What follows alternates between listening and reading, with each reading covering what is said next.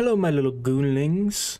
Today we're going to be talking about a tweet that has been circling around my Twitter that I've been constantly seeing, whether or not I keep scrolling past it or if someone just keeps reposting it.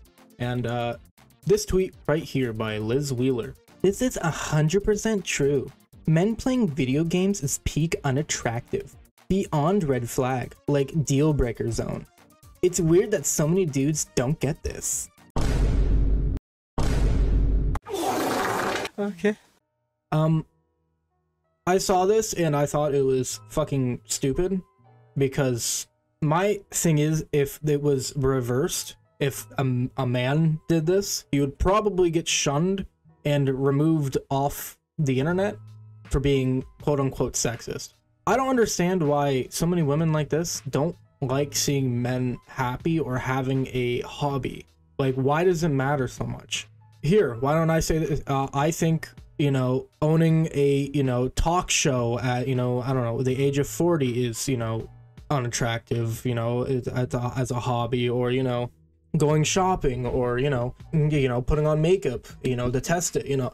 I think that's unattractive. What if I said that? You know, it would, you know, probably piss off some people. So where, why can't people just have hobbies and be happy? Why is it always got to be, oh, everything has to be unattractive or attractive? Okay? Who gives a fuck? And then I scrolled past this woman's like couple tweets and it's just all just promoting herself. Like who gives a fuck? Okay. You know, I, I, I thought I was done seeing cringy shit like this on Twitter, but you know, it ceases to amaze me that somehow people always bring gender in the fucking everything. Let people be happy. I don't get it. Like, what's wrong with like bird watching is nice. What's uh, what's wrong with bird watching? You don't have to do it.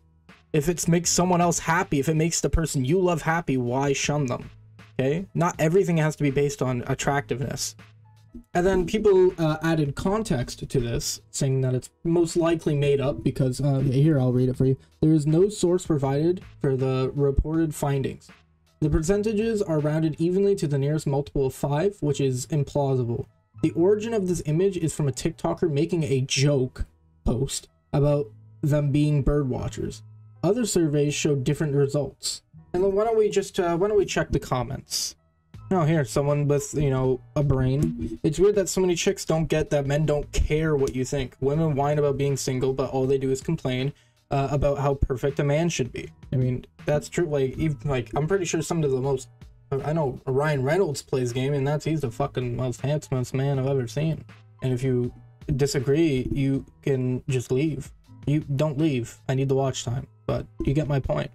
Yeah, like even other women are saying that they play games, right? Which is, I it doesn't make any sense.